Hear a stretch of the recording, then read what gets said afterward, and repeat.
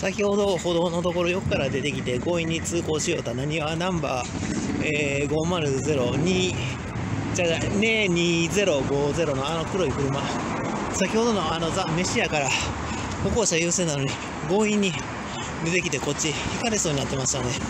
乗ってたの、えー、老人女性髪の毛、えー、茶色、えー、助手席にもう一人、えー、老人女性。日付は本日2024年5月2日。時刻。何時かな。ちょっと時計持ってないんで分からないんですが昼前ですね。11時ぐらいだと思うんですけど。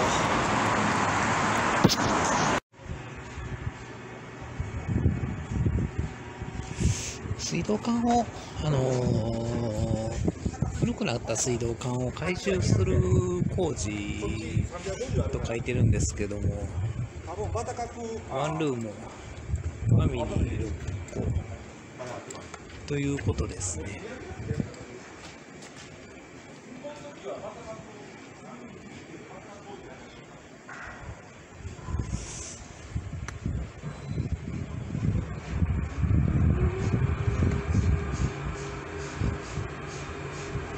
一時停止をしながら、えー、対応の方を当たってください。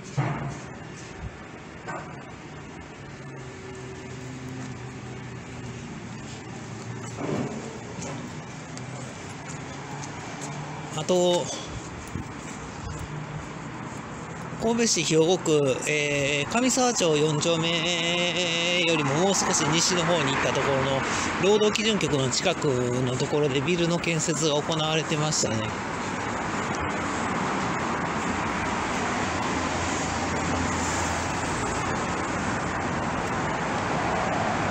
ここエレベーターがつくのかつかないのか、まあ、百何十個っていうことは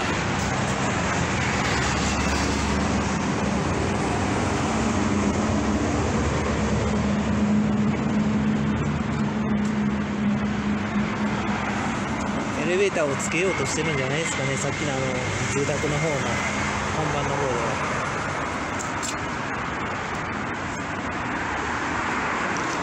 エネルギーの残存量問題です。エレベーターなんかない建物で人口はずっと減少してます。ああ、先ほどと同じものですね。地上15階。ああ、もう全然ダメ。エレベーターなしの5階建てまで作っていい建物。石油の残存量残り54年分。国連発表ガスは残り49年分最後の最後まで売ってくれるわけがない僕は若い頃1977年生まれですけども69年分技術的採掘可能埋蔵量もうロシアなんか1万5000メートルもそこまで掘ってくれてる。もう目と鼻の先。エネルギーの消費っていうものを大真面目に。えー、余計なものを作らないで建築業界はまず動かないこと。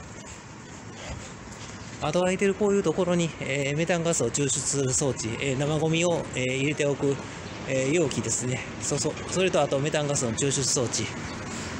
それでガス作り出すしかない、まあ、他にも方法はありますけども全部しなきゃ無理、こちら神戸市中央区えー、西本町駅の、えー、出たところすぐなんですけども、まあ、こういう風景のところです。19階建てのビルが作られようとしています。エネルギーの残存量問題、全くあの理解していただいてないですね。神戸市長の久本さんもそうですけども、斉藤知事も。本当にちょっと話にならないですよ。ちょっとあの労働基準局、神戸市兵庫区の、えー、労働基準局の近くも、えー、ビル建てられているんで、今、建設中です。そこはね、ちょっと映像撮影できなかったんですけど、これ、あの早急に高さ5階まででエレベーターなしにさせてください。契約はどうこうなんて、そんな話、あの今更何のための知知事市長なのか分かんないですよ。えーこちら西本町から、えー元町に向かっての商店街なんですけども神戸市中央区です、えーこういう、えーテナントの管理地という空き地がありますのでここに、えーメタンガスを抽出する生ゴミの貯蔵庫を、えーセットで、えー設置すると。これでどうでしょう？えー次、えー商店街からもう少し西本町の駅からもう少し元町の方に歩いてきたところですけども。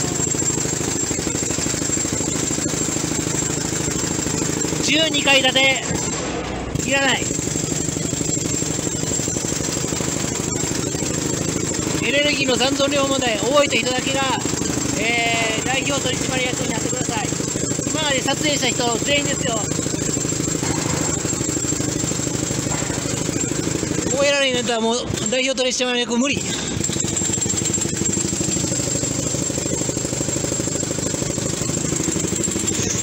えー神戸市市役所、えーがあちらの辺りかな、あっちは左手か、まあ、あのその辺りです。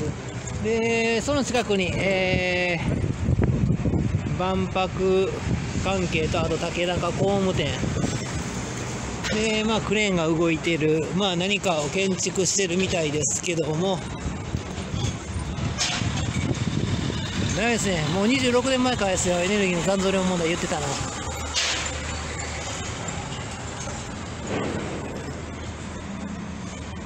まあ、一時停止をしながら、あの、あやっぱり、ああ、もう行くだけしてもああかんわ。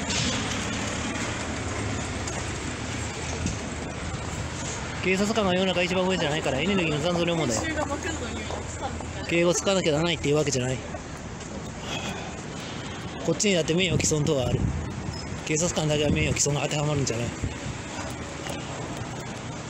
その前に50億人の命の方が上や。エネルギーの残存量問題。えー、三宮、神戸市中央区三宮、えー、磯、磯上公園西、えーポートライナーの近くですね、こちらに、えーこういったマンションが、えー今、建設されようとしています。SDGs で、え余計なのいっぱいありますね。これ、意味全然間違えてる。7番該当しない。他も、大体のところ該当しない。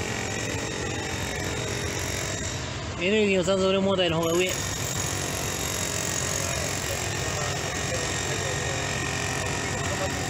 他の会社のところ並んで石油とかガスの残存量言ってる。昔からどれぐらいだったか。ずっと先々まで掘っていく分込みでその数字出してる。代表取締役無理やで。あんたたち無理や。神戸町づくり神戸市の町づくり課の人間何おんねん。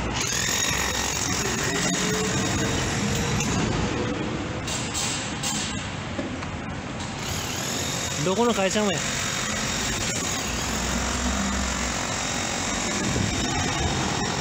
警察署の所長も無理や。アウトや。民法720条正当防衛がある。あんまり敬語ばっかり使ってたら勘違いしおる人間が多すぎる。年食って自分たちの金儲けばっかりのために生きよう。どれぐらいの人間が組んどってん自民党としてか。許さんよ。もう向こうの方から、えー、港川の方から歩いてきますけどもう周りのこういうふうなビルもともとほぼ全てがなかった。こんなにたくさん作ったって絶対売れるわけはない。もうどうかしてるところの話じゃないよ。後先何も考えてないよ。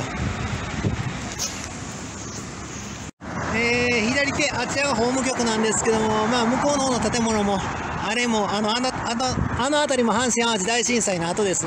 あの辺りもねあの向こうの新神戸、えー新幹線のあの辺り行ってもいっぱい、えー高いビル建ってます。12階建て以上のビル。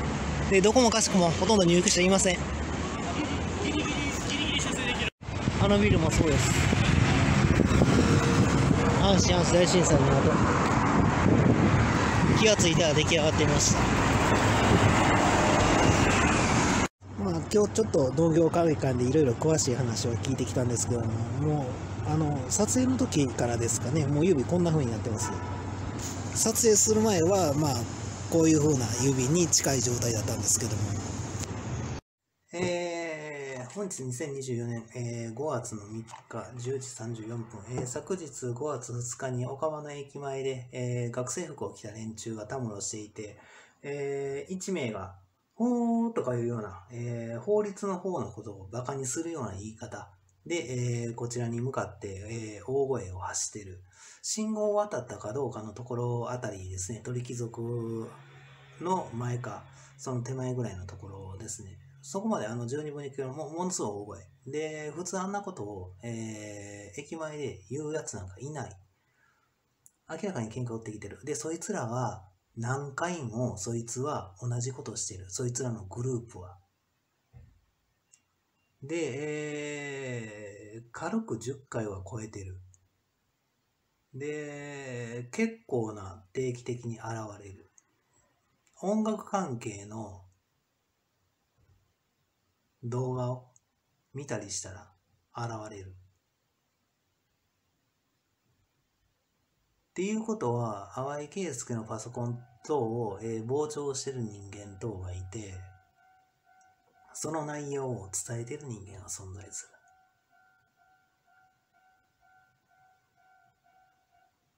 音楽関係の動画を編集したりしてる時でしたからね。で、その後、また喧嘩を売ってくる奴らがいるんですけども、そいつらと組んでる可能性がある。春山整骨院にあれで昔大量に、毎日大量の人間集まってきてたんですが、何百人と。なんせ夜の0時00まで、朝早くから、ずーっと車が出入り。それは2010年の最初の頃なんですけど、一番最初の頃は、2000年か2000年の手前。で、まあ動画をつなぎ合わせるんでね、あのー、それは本当に昨日のことかな、どうかなのところでね、えー、番号を見てもらったらわかります。えー、この番号。えっ、と、これは新しいビデオの方だから、これはいいとして、これは新しいビデオがそこに映ってるか、これは一旦こうで、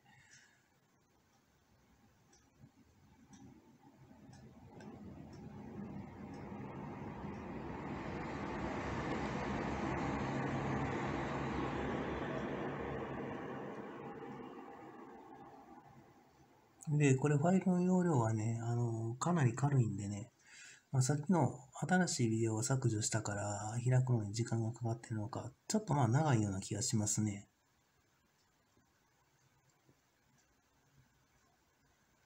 この新しいビデオも全部トータルで30分ないでしょうね。開かないでしょう。まあ、このファイルが、えー、学生がね、えー、昨日、まあこれ更新日時とか出てきてるでしょ。ただ、絡んできてるのは19時25分、それぐらいですね。岡川駅前。で、学生服着ていたとしても、学生とは限らない。そういう奴らこの辺にいっぱい来てるから。そういうふうなことをしてジャニーズとしてテレビに出た連中いっぱい存在する。なんか喧嘩打ってくるようなこと言うとるわ、集団で。調子乗んなよ。これを、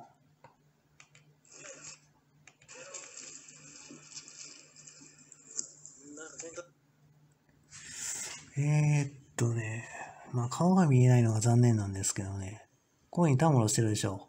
こいつらが大人になって、まあ、ある程度の年齢には見えますけども、こいつらが大人になって喧嘩売ってくる可能性があるんですけども、その前に、淡井圭介の自宅の前の踏切のところで、約10年間にわたって、えー、学生がたむろして、で、ある程度の年齢の人間とかが、あの前のところね、踏切のところ。で、えー、ここの住宅の前、えー、その辺りとか、階段のところで待ち伏せしたりとか、それを何人も複数の人間で、大体複数の人間で移動してる人間は怪しい。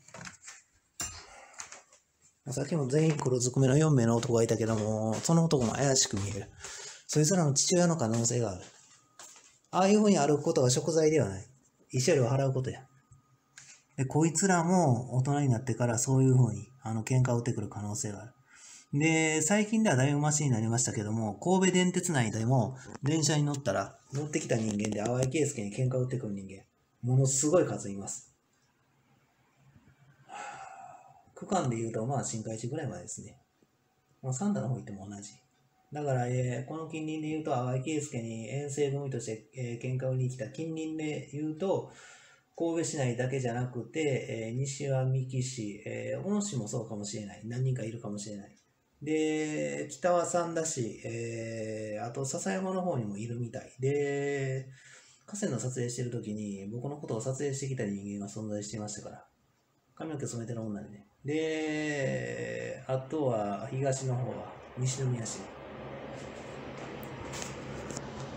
で夜喧嘩売りに来た、この後、えーここの時刻が19時、えー25分ぐらい。で、夜中の0時00過ぎに男2名と女1名が喧嘩売りにある、えー大声で、あの辺りの地点で、撮影始まる前にね、あの、大声で、えー笑い声で、えーこっちに向かって挑発行為、えー威嚇行為としてきた連中は存在するんだ。あと、ストーカー行為法違反、付きまとい行為。歩きながらでもそれ付きまとい行為や。たむろして待ち伏せも付きまとい行為や。ものすごい大声。で、笑いながら歩いてる。それ、そいつら何十回も行ってる。もしかしたら100超えてるかもしれん。こいつらも同じ、同じようなこと何回もしてる。で、映ってたかな最後の最後まで。うん髪の毛染めてるやつはいたと思うんだけどね。スマートフォンの画面の操作見てる間にどっか近くのこの別の場所、ベンチに座り始めたりとかで逃げたのかもしれん。まあけどな、この、まあ、一名髪の毛染めてた人間を、そいつは見当たらないね。なんか変。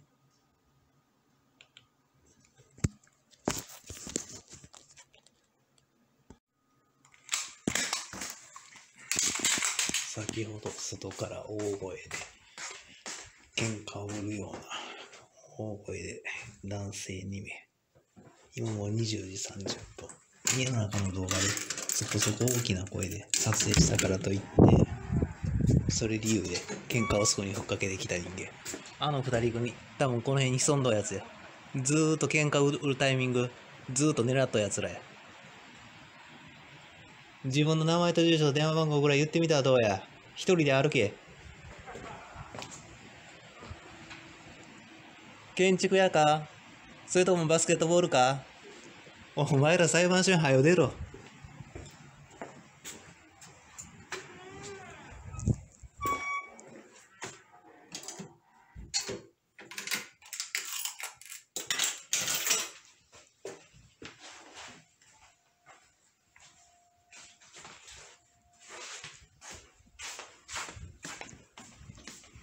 ずーっと何か弱みを握ろうとして、春山整骨院にでも潜んとったんとちゃうか。もう12時前やぞ。やのに電気がついて、まだ何人もおる。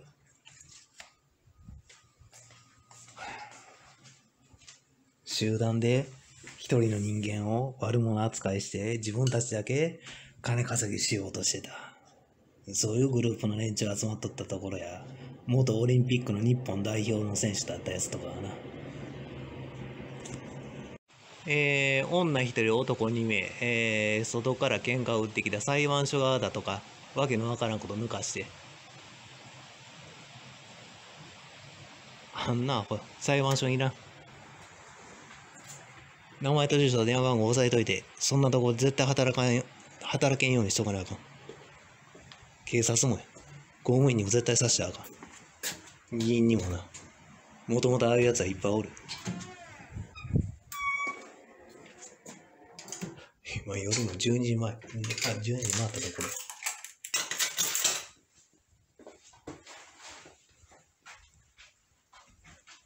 喧嘩売りに来るやつらめちゃめちゃ多い。やっと春山整骨院。帰り寄ったんかな。まだうっすら電気がついとるわ。曇って見えなくなってるだけ。たまに2階のあの辺とか電気ついてるけど。うっどうし、人が寝ようとしとったら。集団でもともと学生の頃から喧嘩売っとった、売りに来とった連中とか遠征組とかそいつらや。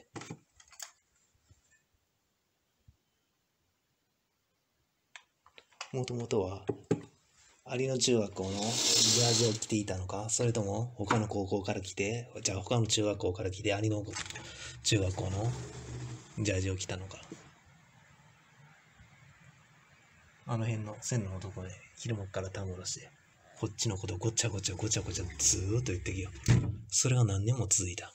そしたらもういろんな世代でああいう風な奴ら奴らが、この辺に何百人とおる。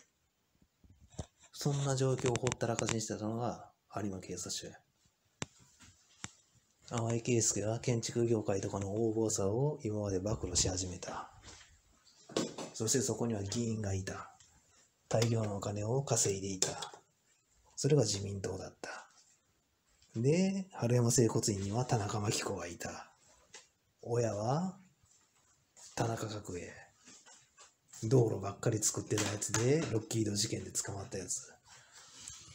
リクルート事件っていう言い方をしてたのかな結局同じようなものやけども。横領は横領で賄賂は賄賂や。どっちも同じや。金の話や。前から同じや。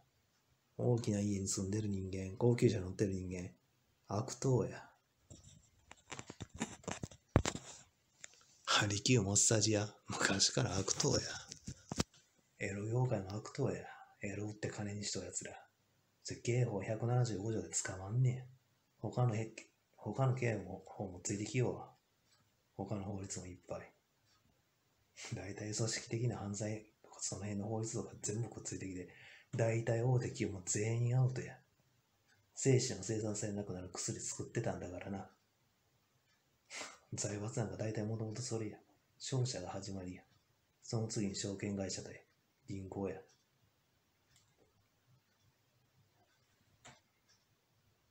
国の銀行は最初にある。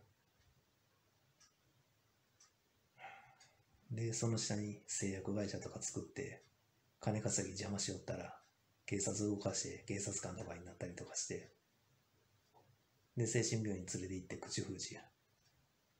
で、エロ業界と組んでた。というか、女回してた、男回してた。それが1956年の売春防止法ができるまでの日本や。こいつばっかりや、本当に。さっき歩いとった男二人と女一人やぞ。どう思う？この時間やぞ。音楽業界だったらいらんよ、そんな奴ら。犬一番に解雇にしてやるよ。話すると、それがもともとの自治会や。どっかで集合してたむろして集まり始めた連中の金稼ぎの話や。それがもともとの始まりや。それが議会とかになってるだけや。選ばれたのなん。だろうっていう話で。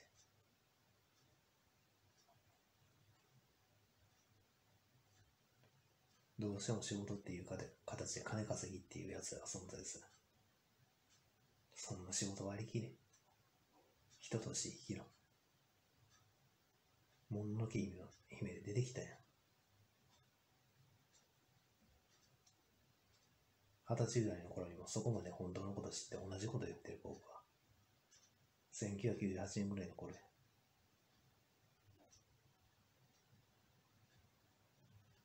宮崎駿監督だわ、池介話してることぐらいわかるやろ。テレビ通して。いい加減現実受け止めろよ。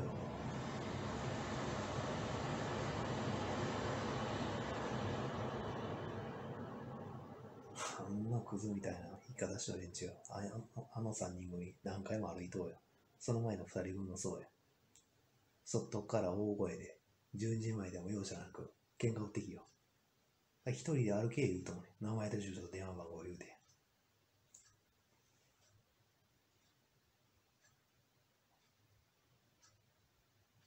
警察官を動かして何人隠蔽してきて。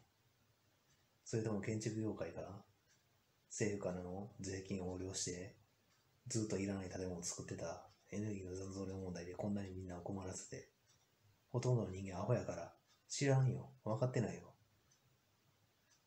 道路見たらわかるよ。車がものすごい数走ってるんだから。アホばっかりやからや。根性ないからや。自分から車を売るっていう根性ないからや。髪の毛染めたやつも根性ないね。タバコやめられへんやつも。警察官でタバコやめられへんやつ一体何おんねん。今すぐ警察官やめろよ。経営者も同じや。タバコやめれんやつ、酒やめれんやつ、もともと大したことない。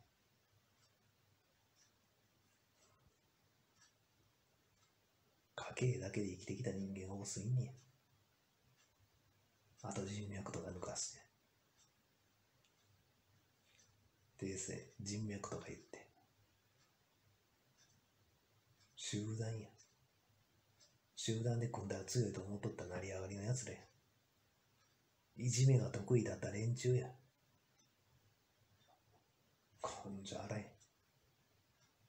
大の大人が最初に通った2名。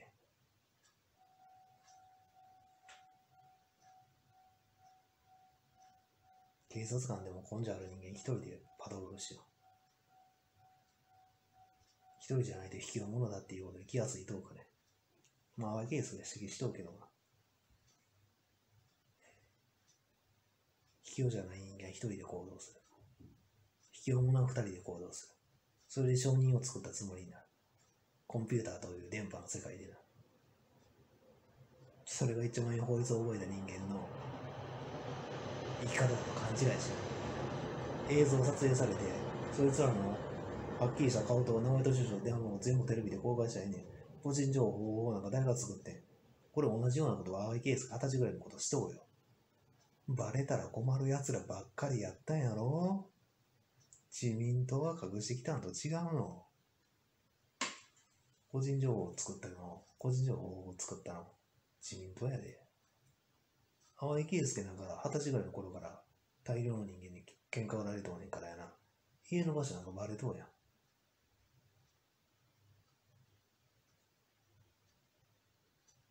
こっちが悪さしとう人間指摘しとうねんからやな。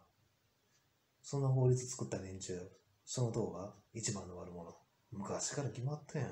総理でも捕まっとるやん、田中角栄が。何億も横領して。建築屋が稼いだ金、トータルでビル一軒分、何十億する思うとね。捕まれ、その金額で。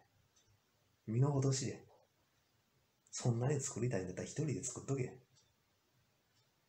城とか。先に被災者助けろ。それが人としての生き方や。できてない奴らばっかりや。先週いくら稼いだ金額が大きい大きいほど、そいつらが半端もんだったっていうことや。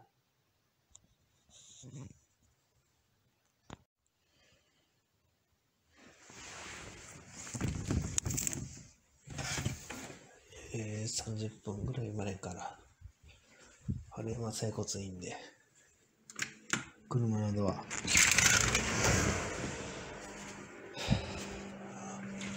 バタンっていう音と、何台も車がずっと出入りしてますね。まあ、さっき多分帰っていたところなんでしょうけども、もう何回も、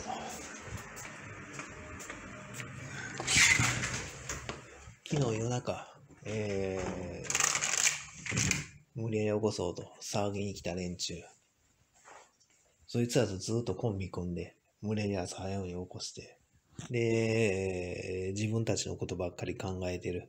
NHK とかが存在していたか、えー、そ NHK のアナウンサーとかも出入りしていたから、林田っていう女。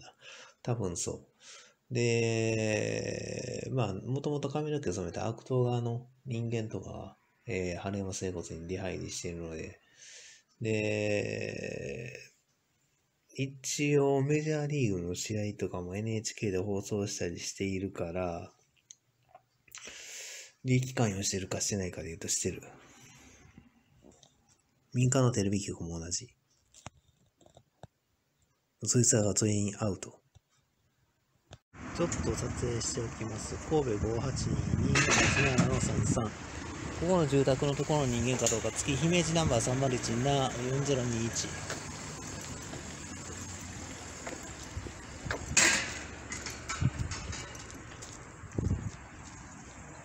交差点。その辺りまでが交差点。5メートル以上のところ。ただし、駐停車の時間5分。それ違反した道路交通法違反。次々集まってきよう。こんな時間帯、たくさん人なんか集まってこい。柴田とか名乗ってたやつかな。だったとしたら、春山整骨院と組んでるやつや。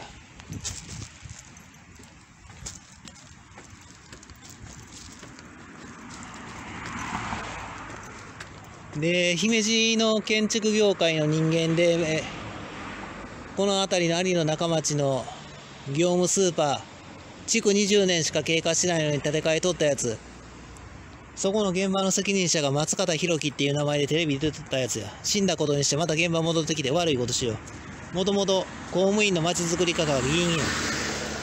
あいつももともとエロ業界の人間や。姫路市、それだけで怪しいね。